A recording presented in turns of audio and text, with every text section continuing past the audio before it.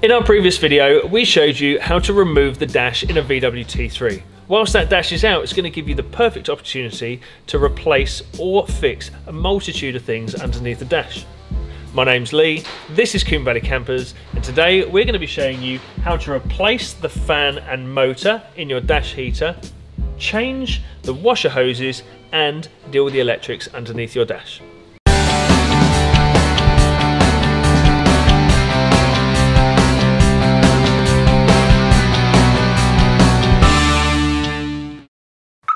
The tools you are going to need today to do the three jobs we are doing, such as the wiring, replacing the heater box, and doing the windscreen washer hoses are as follows. A selection of sockets and ratchets, a selection of spanners and screwdrivers.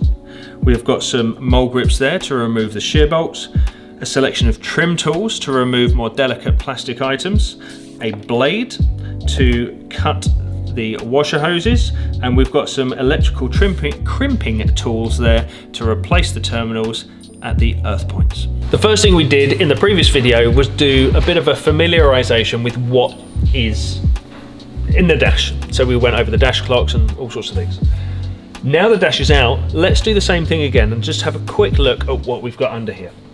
I'm going to start from the passenger side this time because there's some important things down here.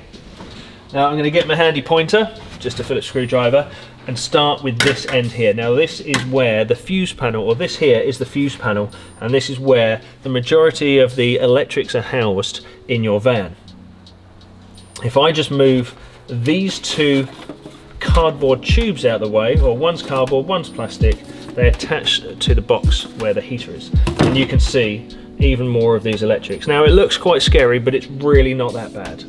You've got a loom going down to the front of the car. Sorry, this loom here goes to the engine and this loom here goes to the lights. That's it. There's one, two looms and they disappear down here. The rest of this wiring here goes to the steering column and to the dash switches. None of that you really have to mess with. The only thing we're going to have to play with today and have a look at is the electrics that have been added since this car was built. So for example, we've got some white cables here with some of these crappy blue connectors, which I absolutely hate. We've got some extra wiring here with some crappy red connectors, which I absolutely hate. Um, and there's just some other bits and pieces that I'm not happy with. So for the most part, we're going to be removing them. But whilst we're down in this area, I just want to point out these two items here. They're called the earth crowns. Now, if your van is anything like mine, it's got a bit of a leaky windscreen.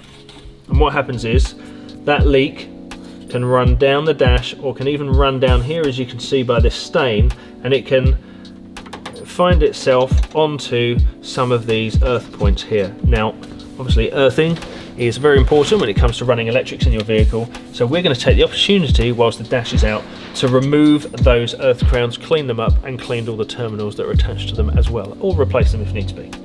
So electrics is here. Moving over slightly to the right, we have got the motor for your windscreen wipers and the assembly is bolted down here and then heads underneath the front of the dash over to this side.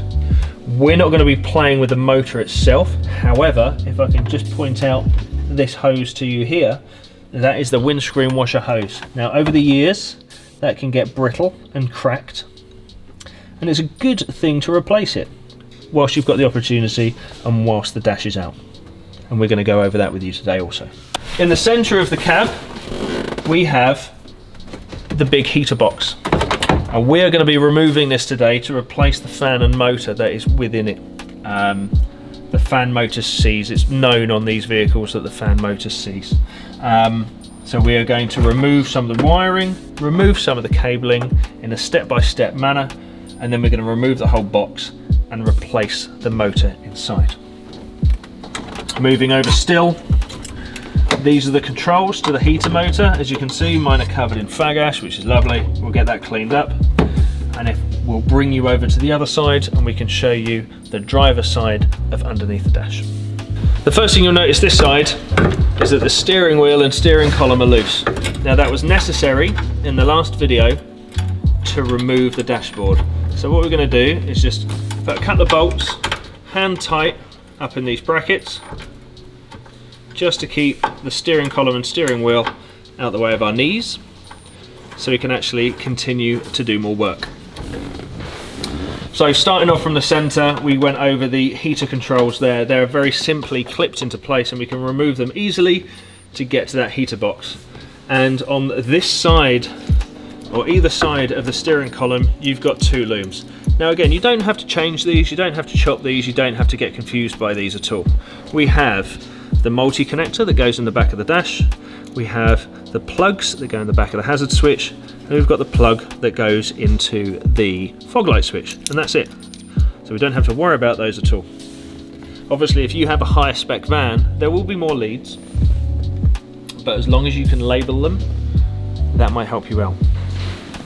On the left side, we have a plug that goes into our brake warning lamp, and we have the plug that goes into the back of the headlight switch. That's about it. For the center console, we've got the two little terminals that connect to the light for the heater panel. And we've got the switch for the heater as well, but we'll come back to that later. And that's about it. On a very simple van like this, there's not much to do. Um, the first thing we are going to be concentrating on is the electrics. So we'll take you back over that side and make a start with the earth crowns and the terminals that attach to them. So we said we start with the electrics. But before we touch the earth crowns or anything, let's do a bit of digging as to what's going on here.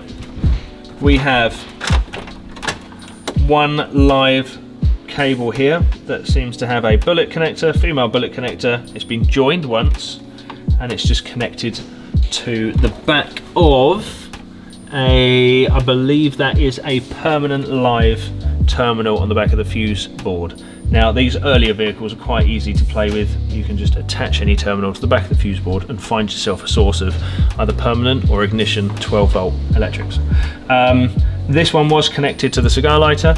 I'm going to remove this cabling because A, I'm going to be fitting some extra wiring. I'm actually going to be fitting some USB sockets to the dash at a later stage. Plus, I can't stand these crappy plastic terminals, so that's going in the bin. The next one here is this white wiring and what they've done, they've taken a feed off a fused terminal and then they've wired it to another fused terminal and then they've got another outlet to wherever that was going to. It might have been another stereo connector, who knows. Let's get rid of that. Oh, that was on there, wasn't it? There you go. Again, crappy wiring that we don't want to know, we don't want to see. Now here we go, we have got a black cable, black or brown normally denotes an earth or a ground cable. This has actually been done properly. This has been terminated at the earth crown. However, we will be replacing that for something of a higher quality, so that's gone and out the way as well. We did spot earlier, uh, once we while we were removing the dash, there was another earth terminal that went from the cigar lighter down to just um, a screw that holds in the glove box. Again, we'll be removing that. What we've also got here is the antenna lead for your radio. Now, right above my head here, there is a mounting point for an aerial. That snapped off a long time ago. So what we're going to be doing is removing that out of the way completely because I won't be using that antenna whip again. And that's it for this vehicle. Really happy with that. There's not much being messed around with. Let's crack on with those earth crowns. To get to those earth crowns a bit better, I'm going to be removing this whole fuse panel here. And that is just a case of removing one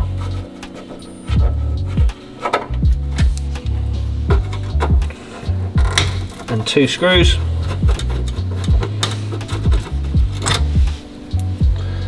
I'm going to pop them in my pot for safety. That whole fuse panel can now be moved out of the way safely so I can access all of these earth points.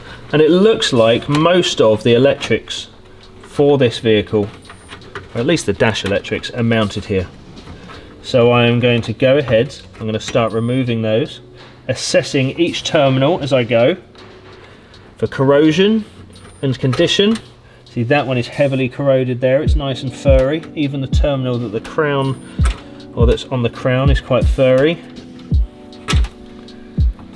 They're not so bad, but this one in particular, it's even seized on there.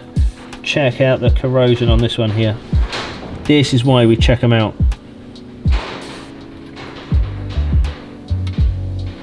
So we're going to clean that up or replace it entirely and we're going to remove that earth crown. This is quite a large earth here. Don't quite know what it's for yet, but looks to be quite important bearing in mind the thickness of that earth lead. And again, covered in rust and corrosion. And it doesn't really what matter what order they come off and go back on because they're all terminating at the same point anyway. But yeah, you can see about 50% of all of those earth terminals there are crappy and horrible. So it's a really good thing to remove these earth crowns whilst we're here. So there is one, and you can just see, look, the corrosion on there. That's not going to be doing anybody any good. The other one's not so bad actually, because it wasn't really in the line of fire of water. But if I bring it around here in a second, you can actually see a rust stain round here. So the water has been dripping down and touching those terminals and you can see that there's even a bit of water there. So the water has been dripping down, touching those earth crowns. So at the earliest opportunity, we won't be doing it today, purely because you don't have the time, um, we're going to be fixing that windscreen seal and you can hear that There is some crusty rust under there, so we'll get that welded up and repaired at a later date. And you can even see the puddle. That's not good. In fact, as I'm doing that, if you check down here, can you point in there, Al? And if I move that water, you can actually see it all dripping down, and that's right in the line of fire for that um, those earth crowns. So yeah, that's one of the jobs we need to get sorted straight away.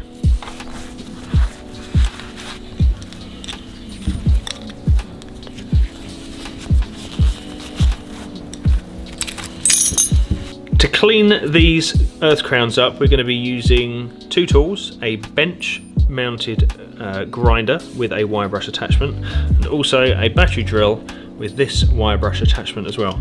The reason we've gone for this sort of conical one is because it will fit right in there. And I've done it before and recently and it cleans them up a treat. I've also removed the screws from the center. I'm going to be putting them in a set of grips and then just giving them a good clean up as well because the main aim is we're trying to get the metal on metal on metal contact through to the body so that earth terminals have a good point of contact. So earth crowns, I'm going to do the outside on the wire brush then I'm going to stick them in a vise and do the same on the inside with the drill.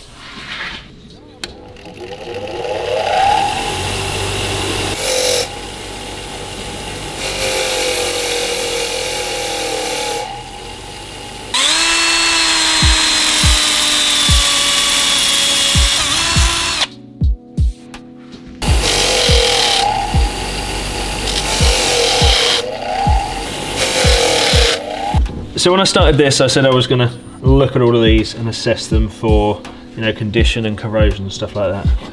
Now, in total, we have one, two, three, four, five, six, seven, eight, nine. Nine of these spade terminals, female spade terminals. And rather than me just cleaning them up and faffing around, I'm just going to replace them all. I'm going to be using these brand new spade terminals and I'm going to be cutting the old ones off, stripping them back and using the correct crimping tool put these on. And they're basically the same. Factory crimps. And you can get them from specialist motor factors or electrical suppliers or even the likes of eBay uh, and Amazon. And you're looking for those open terminals like that non-insulated terminals these are. And being earths they don't need to be shrouded because they won't be carrying any of the live current. So I'm going to cut these off. In fact we'll do a how-to on one of them. So we're literally going to chop them off as close to the end as possible. Don't need that anymore. I'm going to be taking maybe three, four mil off the end using these wire strippers. Make sure they're all tightened up. I'm going to take three, four mil off the end of that cable with the wire strippers. See that? And then going to be using our cable crimping tool. And I'm going to set this terminal into the tool. Give it one click so it's held in there. I'm going to insert the cable into the terminal and I'm going to crimp it down. And as simple as that. One new terminal, which as I'm sure you will agree, is miles better than the old crappy corroded ones. So I've just got to do that another eight times. We'll put the earth crowns back on and we'll call that bit done. The earth crowns are all clean and we've brought them back down to fresh metal. I'm going to screw them back in there. Before I tighten it all the way, I'm just going to give it a little bit of a twist so the little barbs on the back of that earth crown can kind of dig into the metal. Then I'll tighten that all the way home. The same with this one.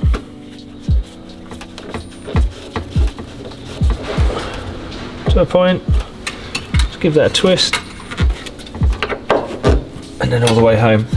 And what we've got are those terminals here. I'm going to leave this one off because this one's connected to the heater motor. Um, and we're going to be removing that motor in a bit. But for now, we now have a brilliant earthing point.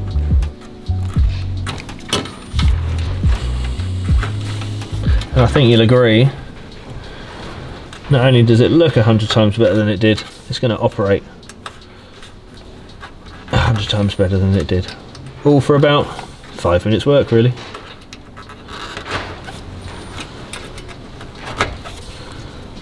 The major task we're going to be doing today is the fan motor. Now the fan motor seizes quite commonly on these and it's because through lack of use really.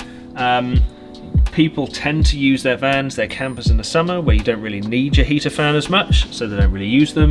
Then they get laid up most of the winter, so people don't use them and then that one day they need to use them they get a little bit seized, they'll start blowing fuses, they'll start melting wiring you just need to get that replaced really. Um, you can run the vans without and you, they once you move all the heater controls to one way and the vehicle is moving you can get some warm air through however it is better to get that fan motor done. It's a simple task really.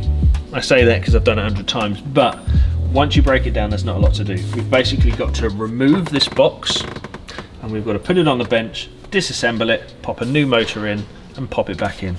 Now, initially, I'll just show you some of the fixings. We have one, two, three, four, five, six large Phillips screw bolts that are holding it into the dash.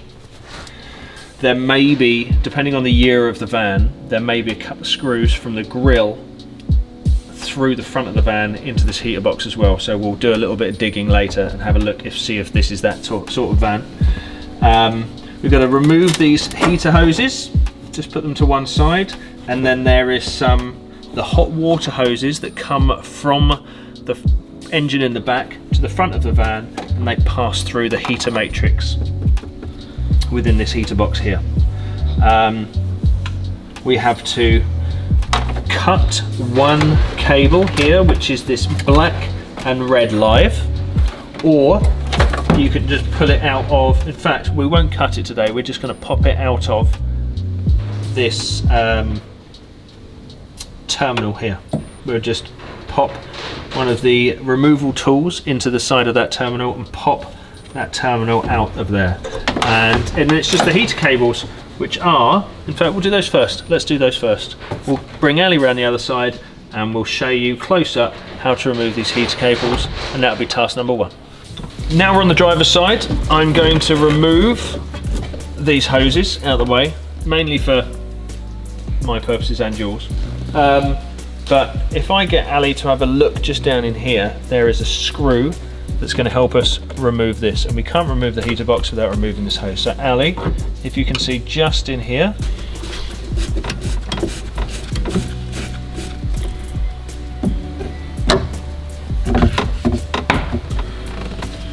Now that screws out, I can just prise that off. It's a bit of a difficult one because of the access behind this brake cylinder here, or the brake master cylinder.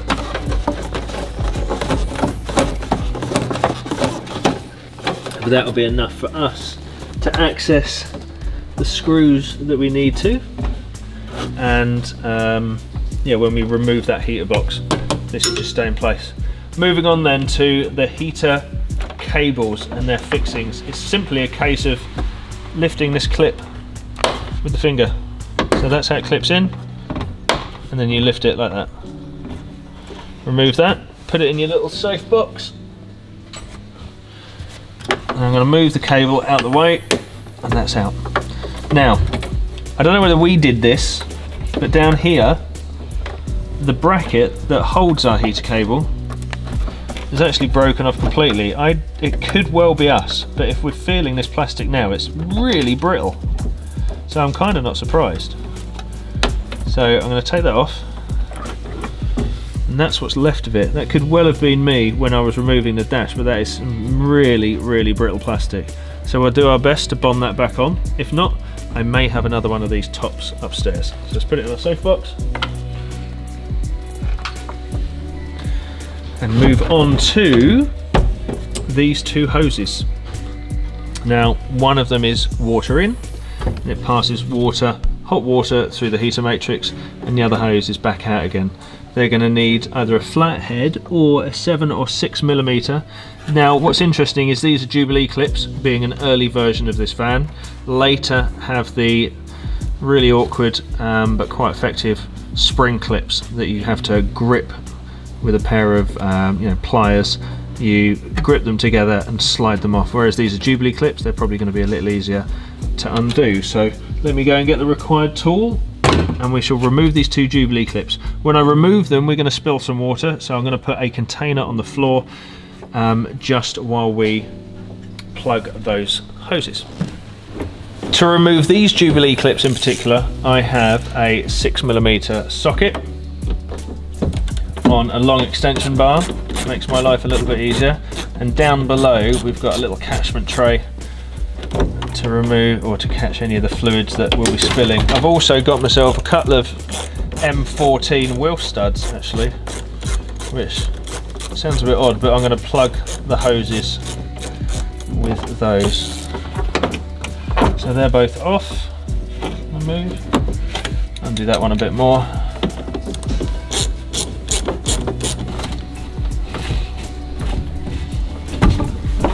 No water. Typical.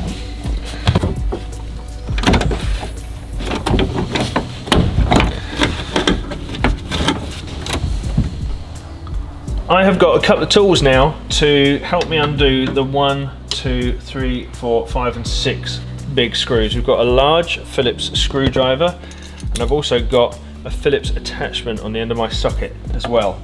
Now, these screws at the back that are against the firewall, firewall, the bulkhead, the front bulkhead, they're known to rust in place. So I'm going to, that's why I'm using the ratchet as well. Uh, you can help things by possibly squirting some WD-40 in from the other side to release those. But if the worst comes to the worst and they do snap, once this heater box is out the way, they are possible to be able to drill out the remaining part of the screw and then tap it. So let's crack straight on with the most difficult ones, which are the two at the back. Um, let's see how they go.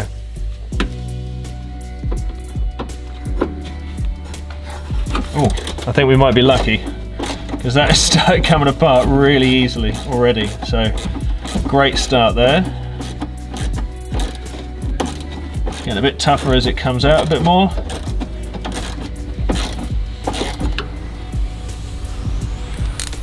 One down.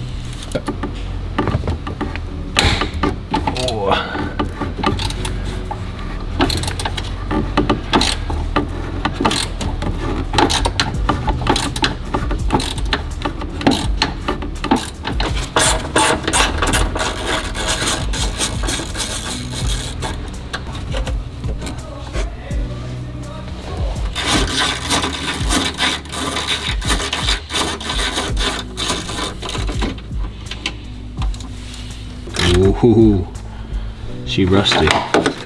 Okay, I'll go around the other side, I think. That's nasty. Right, let's try that one.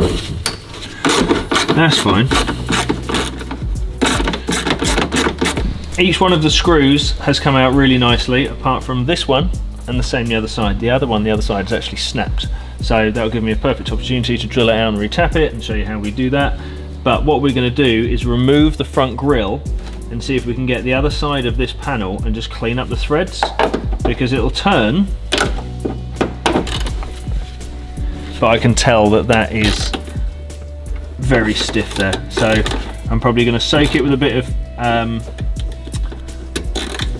WD-40 this side and the other, and then we'll clean up that thread.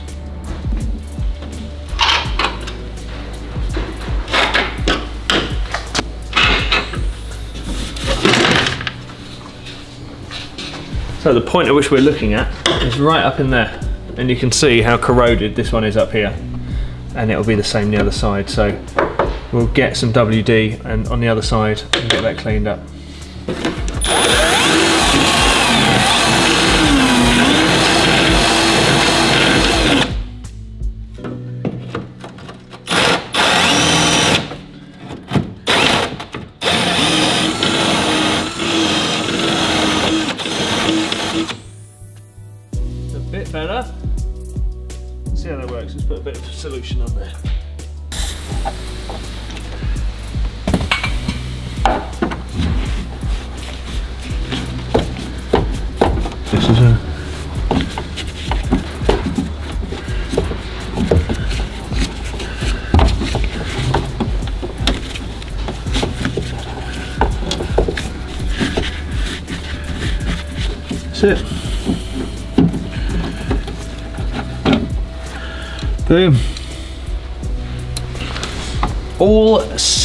Screws are removed, heater cables removed, the pipes are removed, so that should now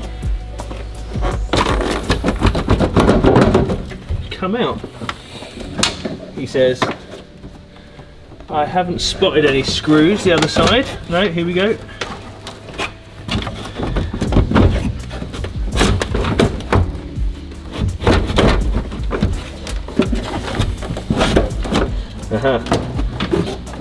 At the bottom.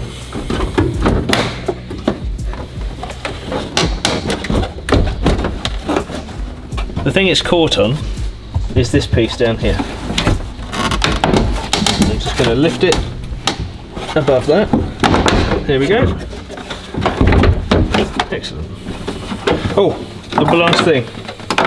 Keep you on tender hooks now. I'm going to re remove the black and red from this terminal. So I'm going to be using a pick tool, putting it in that terminal there, and that slid out of there. So there we go. In fact, what it has done, now there's a good point. Look at that, the live to that was so corroded, it's just pulled out. So that will come out. So there's yet another thing we've got to change. But it's good we do it now rather than it fail on a really cold winter's day when we need it most. So I'm going to call that a blessing in disguise. So after releasing that terminal, or the cable snapping, we've now got the wiring loom for the heater motor and the earth for the heater motor, of which we've already changed the terminal. So that needs to come with the whole thing. And that is out. I've just poured a bit of water out of it because I forgot it was full of water. But apart from that, that is now ready to go on the bench and we'll start stripping it down to put the new motor in.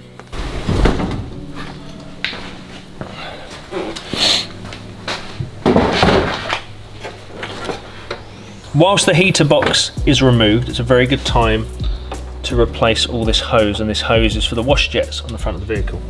Now after doing a little bit of digging you can see that the hose in areas is pinched and even behind the washer jet here it's actually at such an angle that it is pinched and it's rock hard in that position so it really wouldn't be providing the water pressure needed um, to get the jet up onto the screen.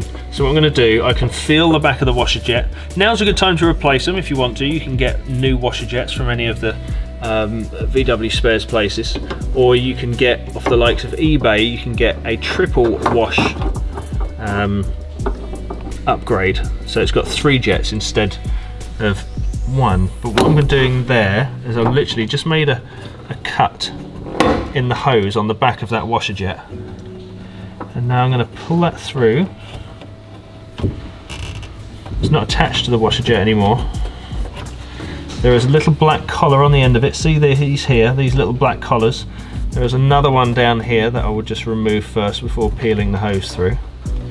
I know it's not that visually representative and I apologise about that, but it'll get better later, promise.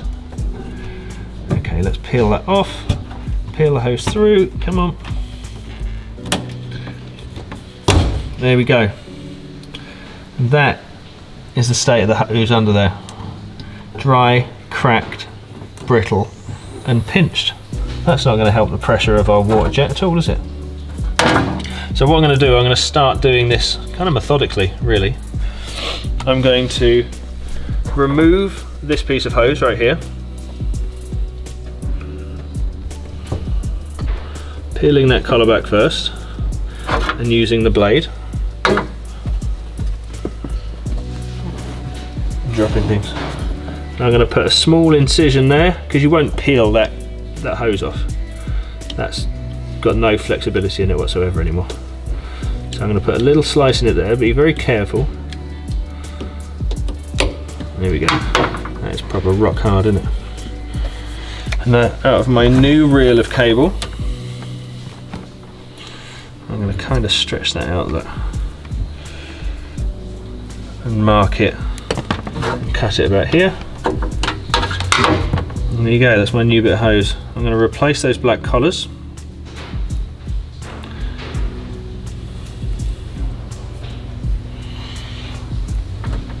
Pop it back onto that T-piece. It's a cold day today, so you might find on a day like this you might need to warm it up a little bit, make it a little bit more pliable.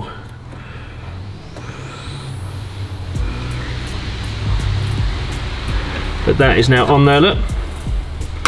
I'm going to replace that little black collar there.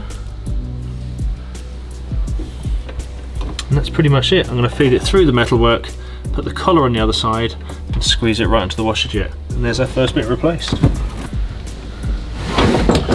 Just going to go through there. I'm going to pop the little hose on the end.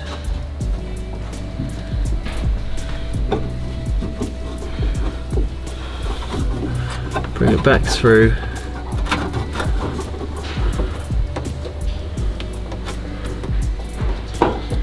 squeeze it onto my washer jet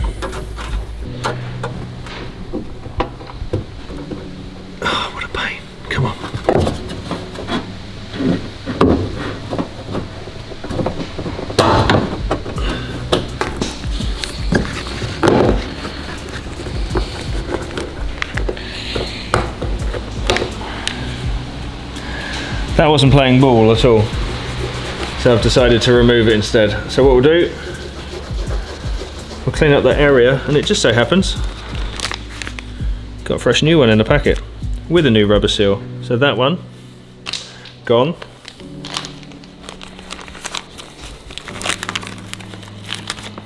That new one can pop back in there but that's not before we feed the hose through and what will it do we'll feed the hose through attach it this end and then pop it back in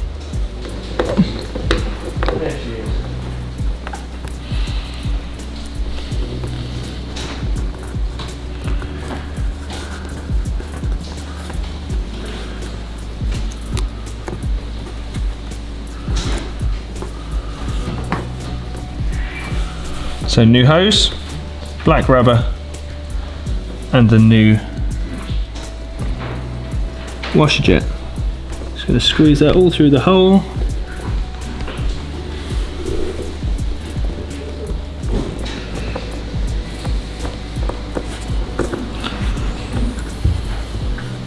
Make sure the rubber is sitting in place nicely and then boom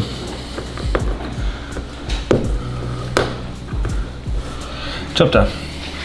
I'm going to now replace all of the hose under the dash. If we need to replace the other washer jet, we will. I'll bring you back when we've got to replace this hose right here. Now this hose runs right down to the washer bottle and we've got to drop the washer bottle out the bottom. So once I've done all these bits, I'll come back to that and we'll go through that with you. We've now replaced both of those hoses. They're attached to the washer jets and look at them, they look lovely. But the last one, which is down to the washer bottle, is just here, if I can peel that back. And this goes all the way down the front of the vehicle and connects to the washer bottle. So, remove that little black collar, the retaining clip, we'll go around the front of the vehicle, we'll slide it through the dash and then we'll take you underneath where you're going to need a 10mm socket to drop that washer bottle out there. Let's go do it. The old brittle hose that we want to replace is this one coming down here.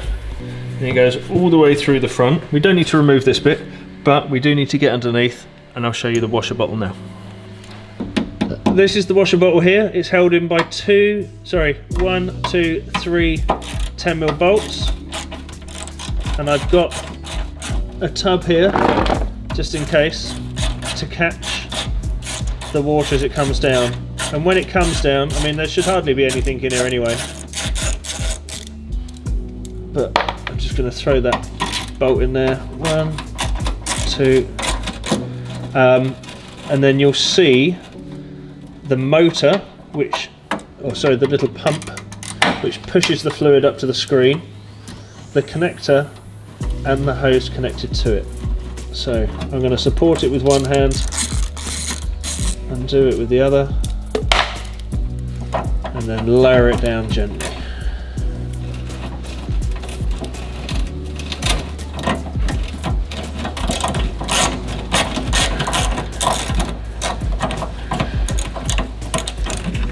Okay. And here we go.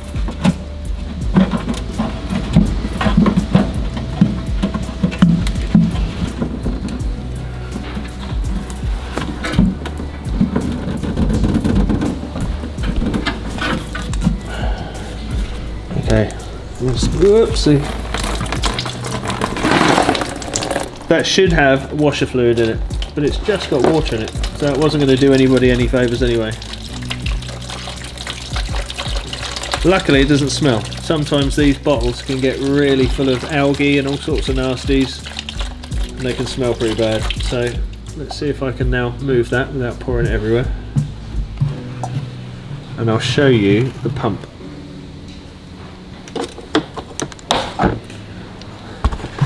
So that's the pump there with the electrical connector. What we want to do is just remove this hose from the pump there and then replace it with a new one. Oops. I might pour some more water out first.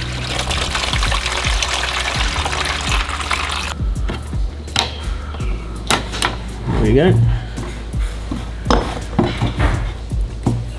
Remove the collar.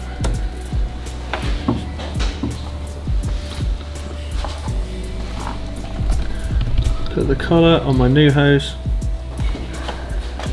Oh, that's tough. Right, the outlet on that pump motor is actually a bit bigger than the others. So you might find you need to warm it up. However, I'm going to persevere, see if we can get that on there.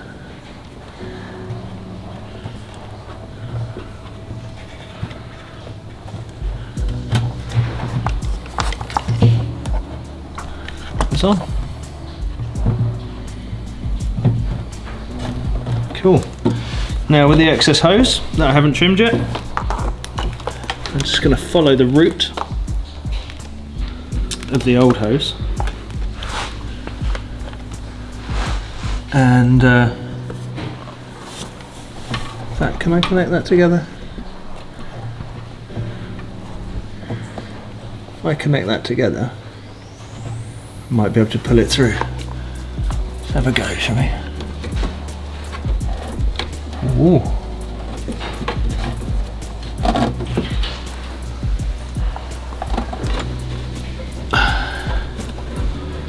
So there's just a little Jubilee clip in there. I'm trying to feed it through. Not Jubilee clip, a cable tie.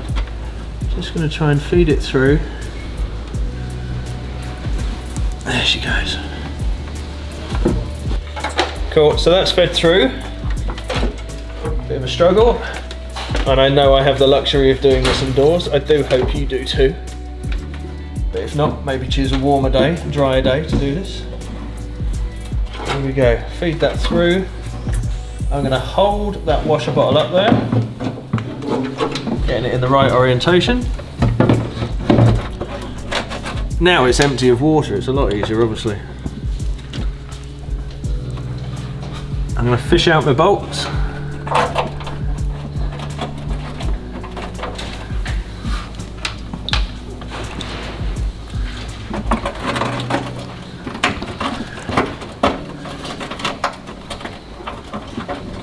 Pop them in there.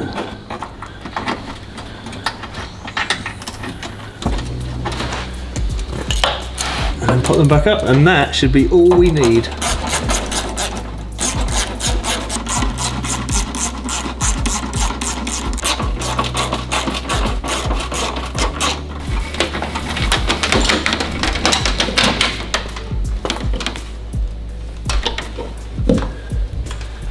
One horrible piece of hose.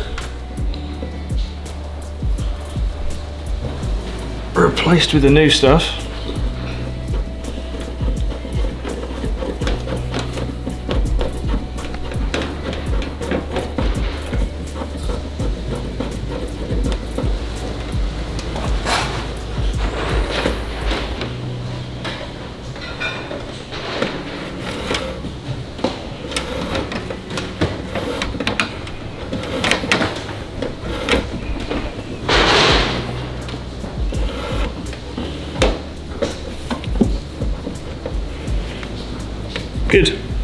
So that's got a little bit of movement there, just because, don't want it too tight.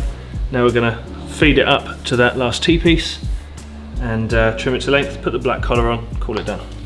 So fed over there.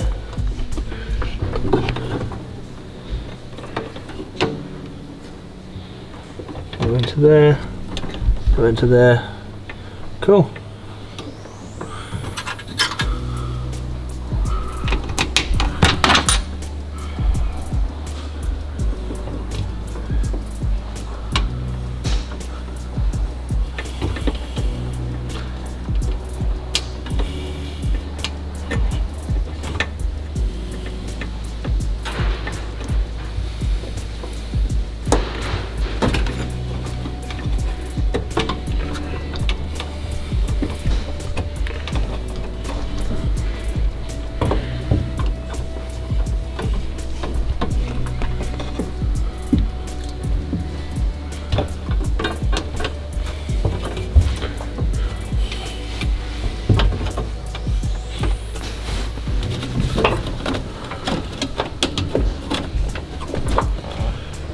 Cool. And there we have it. Nice, tidy, new, flexible, no kinks. We've got to do is fill it up with water, which is what you do down here. That's where you fill up your washer fluid. Ugh. Fill it with fluid, give it a test, adjust the washer jets, call it done. But first, lunch. Now we've got the heater box out of the van, we can effectively restore it. We've got to change the heater motor, we've got to give it a damn good clean, and depending on the condition of the foams, we're going to replace all the foams in it using the Brickwerks kit.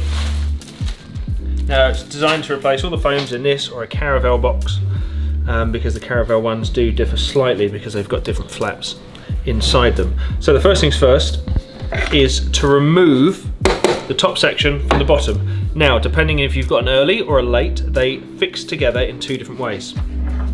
This is an earlier van, so we have these metal clips here.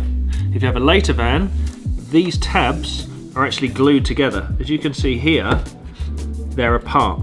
But on later ones, they're heat glued, they're almost heat welded together, these plastic tabs, and you have to use something like a multi-tool, the vibrating tool or reverberating tool, to slice them, slice through them. Then once you've sliced through them, you can drill a hole and cable tie them together because you can't glue them back together or you can cable tie and seal them with the likes of a silicone or a Sikaflex or something. So to remove this top then we are going to, let me just go and get a magnetic tray. You're going to remove all of these clips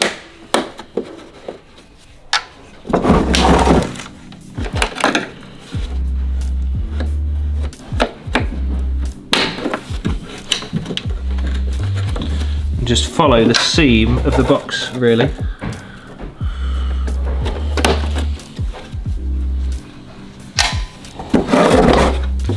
One here.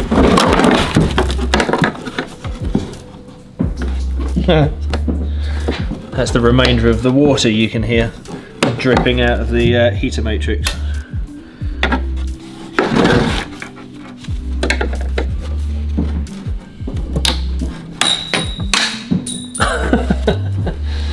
One didn't want to hang around, did it? One. One,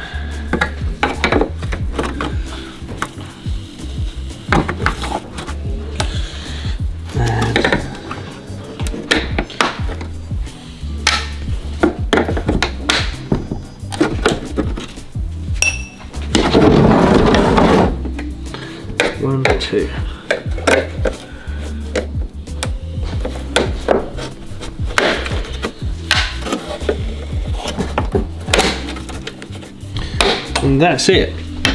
There's a Phillips screw here and a Phillips screw there, just above the motor.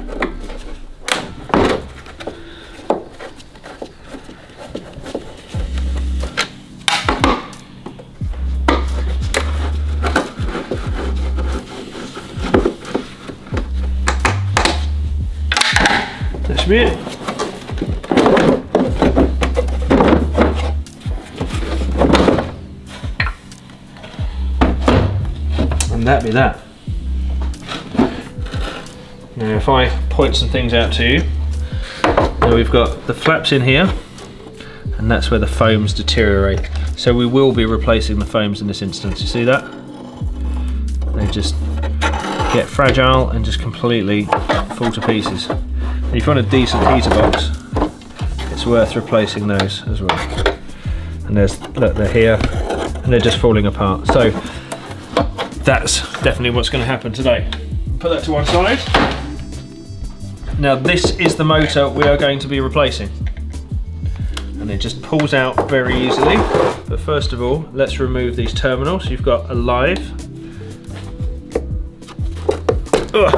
and an earth.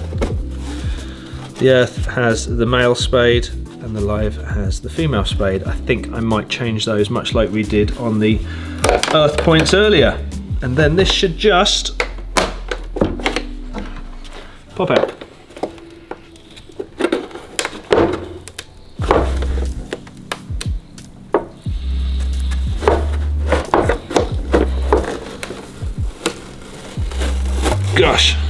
Stuck in there. And there we have it. I'll try and save some of that seal. I know I said we were replacing it, but we can save some of it. Might as well. So there we have it. And if you can feel that, I'll show you this now. I was gonna put like a 12 volt source on here just to show you, but even that, that should rotate freely. And the motor isn't gonna turn that at all. It does move, and you could loosen it up with oil, but for the sake of 35 quid I think these cost, you might as well just replace the whole thing out. So let's just pry that rubber off just in case we need to use it again.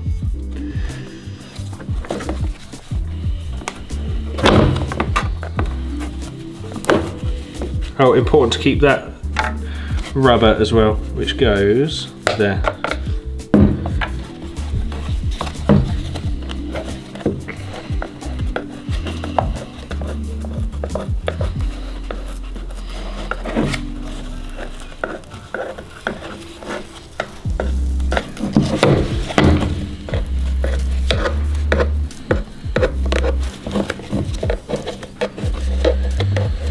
I'm doing this just in case you don't have the seal kit for yours. It's good to save these. You can use them on your next rubber and it is very important that you keep that rubber seal because it obviously seals the fresh air or the cool air from the warm air. So that's going to go in the bin. We don't need that anymore. Right, a bit more orientation then. We are going to be cleaning all of this. I'll get the pressure washer out later. Um, we'll just blast that down and clean it. So for that, I'm going to remove these, uh, this resistor here. That's part of the wiring loom. And that can come out entirely.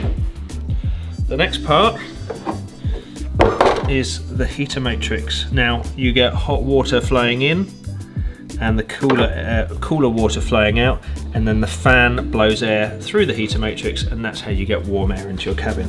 But it's highly likely that this is absolutely filthy and what we'll do, we'll get some compressed air and blow that out as well. So if I'm going to pull that out now, so the old rubber seal is holding that in and there we go. Come on, there we go. And look at the state of that. So this is probably what all of yours is going to look like. That doesn't actually stay on there, that can come off. It's just stuck onto the rubber. So there you go. You get all the dirt and grit. Now, don't get me wrong, that's still 35 years worth of stuff in there, so it's not so bad, but we're going to be replacing all of these rubbers. We'll blow that out with the air hose and we'll clean this up as well. So let's go on it.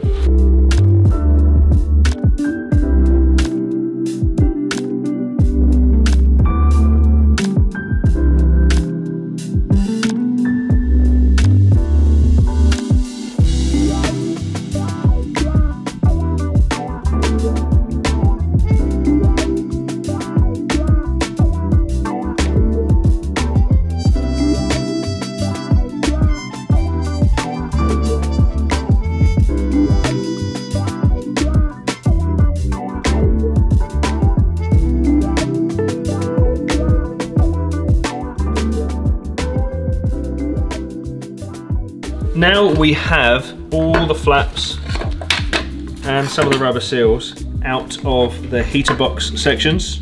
We're just going to clean them up. The old um, sections here, they were held in by these plastic plates. And they're fairly easy to pop out, they're just plastic clips. And what we'll do, I've got the bin just down here, I'll clean up all of them, put them to one side, and then where those plates have been, because they're so deteriorated, they'll just brush off. So the replacement should be fairly easy. Um, again, know, we can just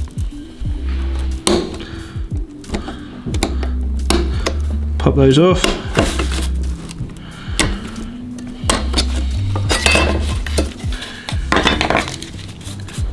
Brush that off there.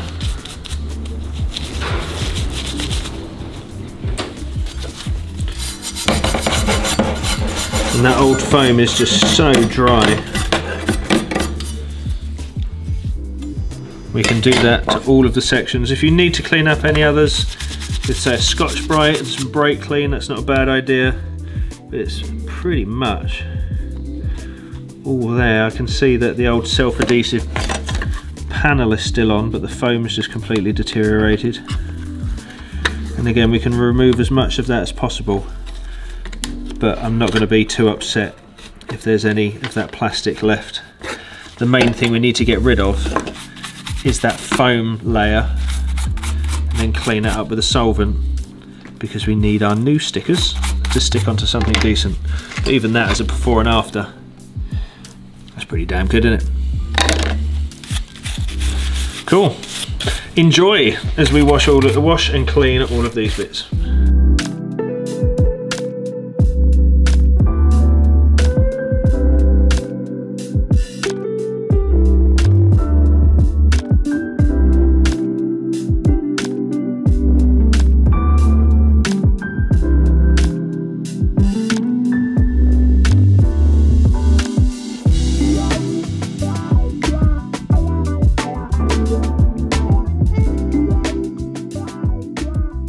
Whilst we've got the opportunity then, we're going to give this a really, really good clean. Um, just makes sense, we've got it all broken down as much as we can and just spraying a little bit of um, some of our Valet Pro all-purpose cleaner onto everything, agitating it with a brush. After blowing it out like we have, we'll just put this in the best position and we'll just use, a couple of microfiber towels just to dry it all off. But bearing in mind I plan for this to be my winter driver, my winter daily, I want to be able to uh, get warm. And once the heating system on these are, you know, once the cooling system's fully bled and you're using the right coolant and you know everything's working as it should, they actually warm up really quickly. So if I can get that done now, whilst I've got the opportunity, then I will. So 10 minutes of cleaning, totally worth it.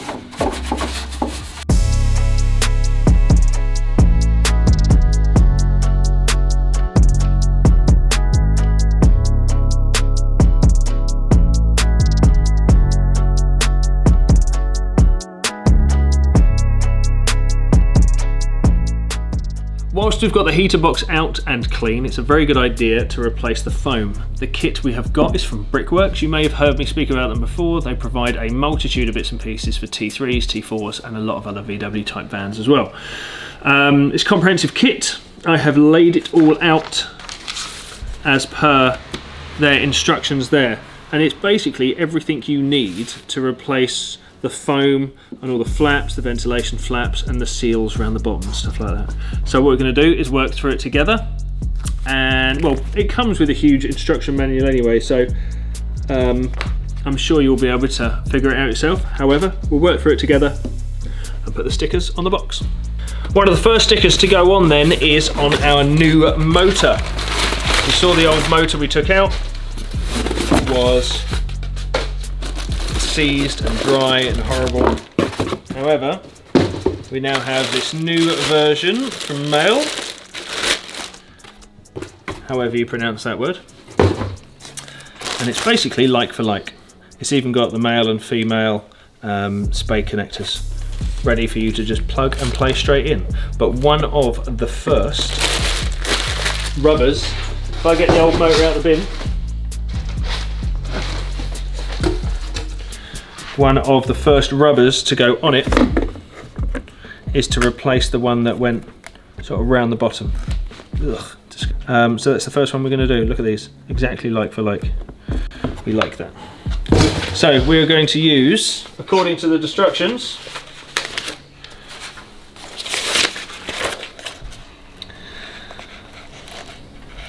seven millimeter by five millimeter, which is this stuff here.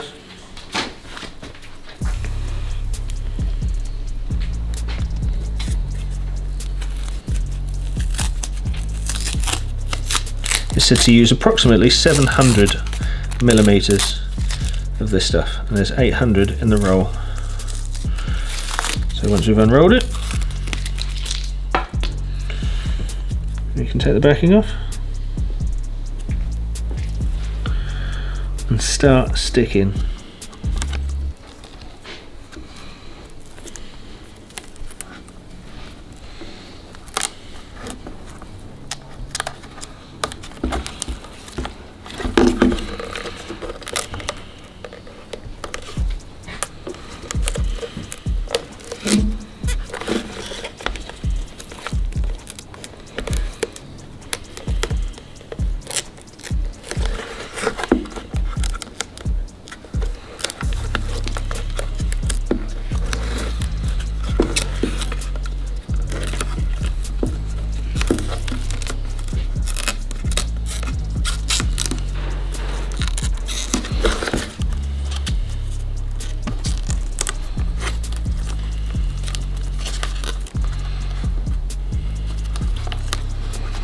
And there we have it. First one down.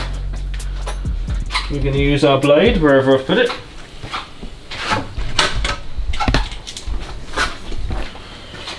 to just trim off the edge.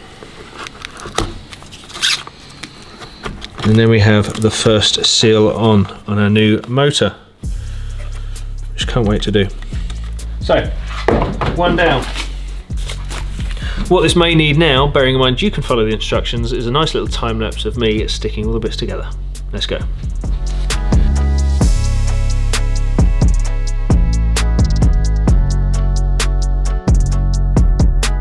Before we bolt everything back together, I just want to test the fan motor. So I've got a 12 volt battery and I've got what's called a probe tester. Now you can just use, you know, a couple of jumper leads from the positive and negative to test the battery. But this probe tester, you can apply a 12 volt source as to, you know, anywhere you want to, but it's very good for testing an earth circuit or a live circuit or continuity. So I've got my earth clip on the earth side of the motor or the ground side of the motor if I apply that probe onto the positive terminal, you see the green light, it shows that you've got uh, continuity, and I'm just gonna press it here, you can hear that fan motor working.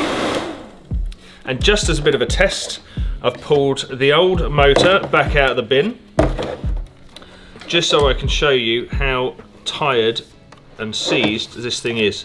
Now, you're gonna have to come in close because it doesn't spin, but you can hear an audible click. You might even be able to see it move a little bit. So,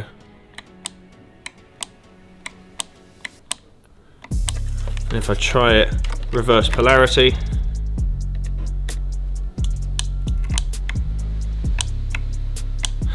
doesn't even move. You can hear an audible click, you can hear something trying to move, but that's so stiff on there, that was never gonna work. So, back in the bin.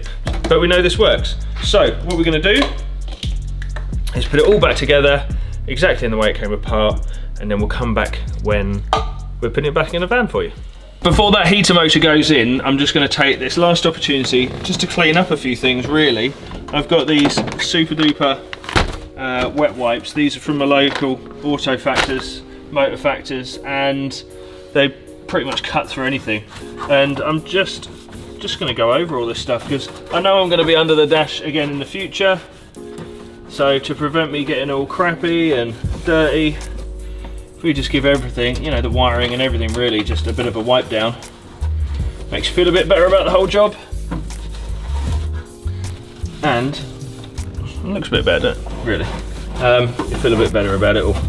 Um, what we'll do, we'll finish off with giving the dash a wipe over. I have um, you'll see by a little bit of a time lapse we did that I have been over the dash with um, a cleaner and mopped it down and everything else. Um, before this goes in, I've tapped or rethreaded or just cleaned up the thread on all of these holes. This one, as you saw, um, snapped as it came out, so we've drilled and tapped that to accept a new M6 screw headed bolt. Um, that's about it really. So yeah, just gonna spend a couple of minutes doing the last bits of cleanup, just checking I've done everything, just checking all my connections are good and tight and everything else. And yeah, then we'll slam that airbox back in with a new heater motor.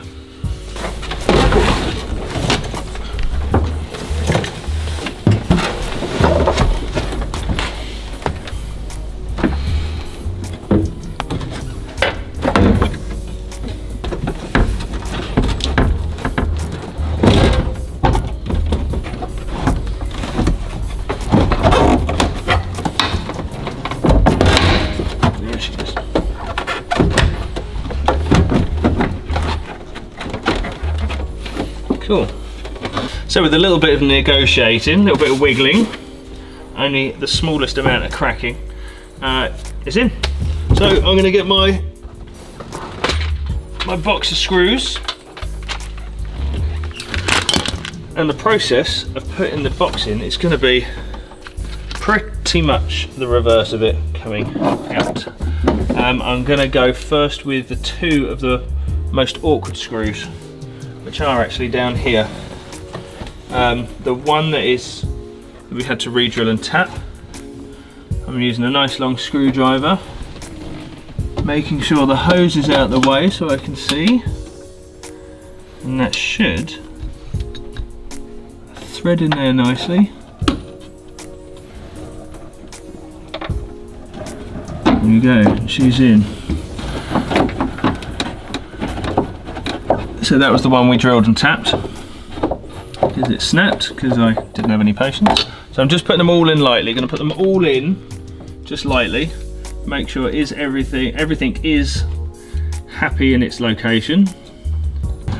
Two. Do you know what? That's the one that was a bit of a pain when that came out there. So what I'm going to do, I'm just going to put that on the wire wheel, wire wheel really quickly, and we'll just clean that one up.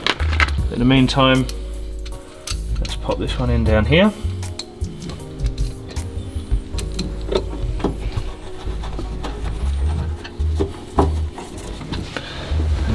To go down here. And don't forget this one here.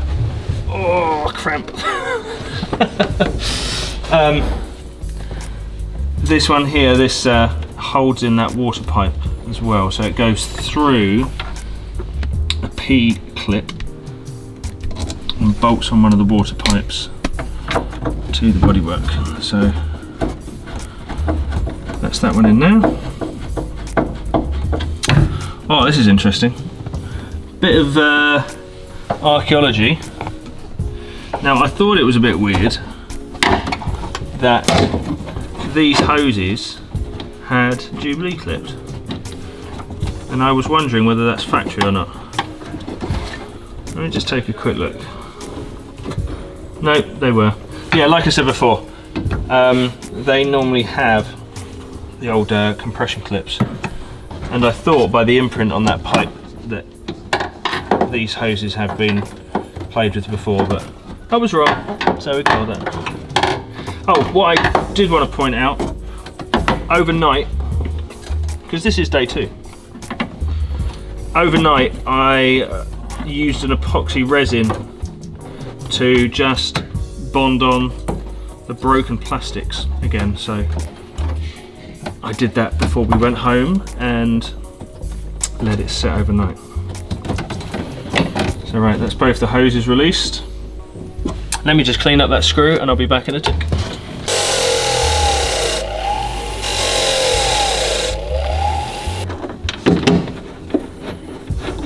Oh, It's better.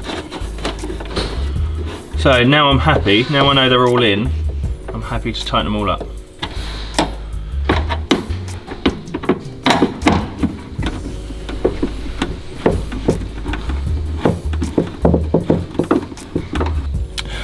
Last two things to bolt that in then, or to make that a complete installation, is to connect the water pipes, one and two, making sure you've got the right orientation, and then the cables for the heater. Don't worry too much about any airlocks in this system. If you come to run your vehicle after uh, changing this heater, there will be some air in the system. However, it is within the heater matrix system, not the main cooling system for the vehicle. That being said, when you run the vehicle for the first time after changing this, put all of the controls over to the right, which means that the heat will be at its maximum um, and the flaps will be at their maximum to throw heat up in here. Then once you've done a good journey with that coolant circulated, any of the air bubbles in that um, heater matrix circuit will work, them, work their way out. However, if you are concerned, then we will be covering bleeding the system entirely in an up and coming video.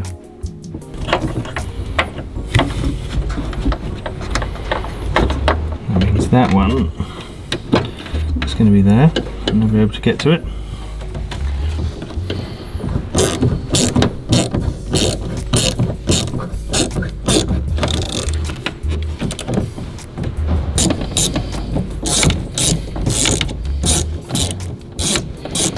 Last thing to connect up is this heater control panel. So this is the levers that control um, either the heat coming through, which is that one, and we know that because this cable runs down to underneath the front of the dash and controls the valve in the water pipe. This one here, which is, is that bottom? Yeah, that bottom one, that will feed through this cable tie. Come on. Feed through the cable tie connect down to that bottom lever, if I can get it in. There you go. And then it will rest on that bracket just here. Now this is the one I've repaired already, so I've got to be super careful. but you can pretty much follow the cables and how they've how they lay in the van. So this one here, if I can get that in, there we go. That's for that one there. Ugh, fact, that'll go in that way. And then it will lay in there like that. And I'm gonna grab my clip, which I've put in my box.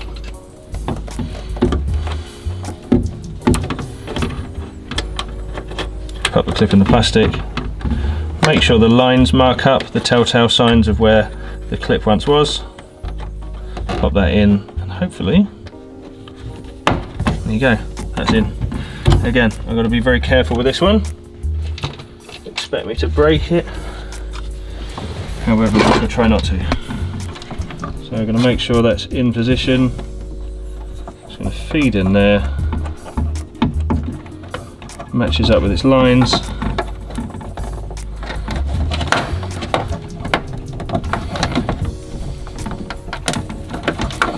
Come on now.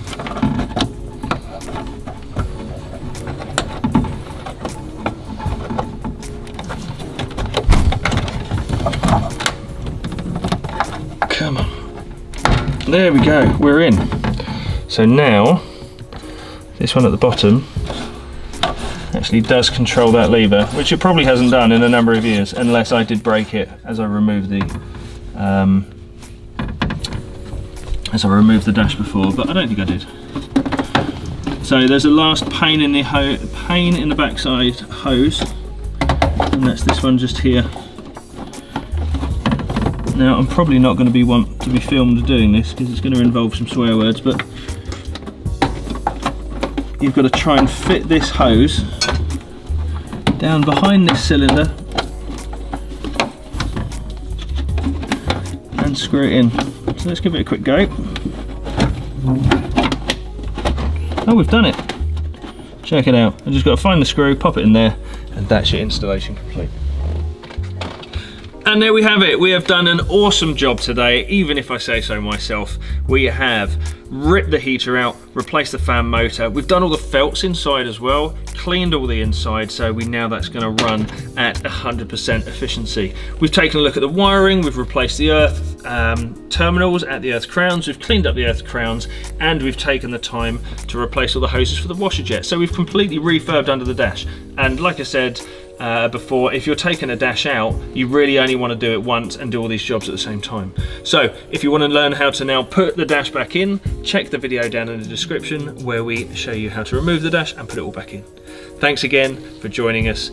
Please consider subscribing. If you like the video, hit like in the bottom corner. If you like any of my merch or you want to find out anything else about Combe Valley Campers, please head over to our website www.combevalleycampers.co.uk or follow us on Instagram and Facebook. Thanks again. See you next time. Bye bye.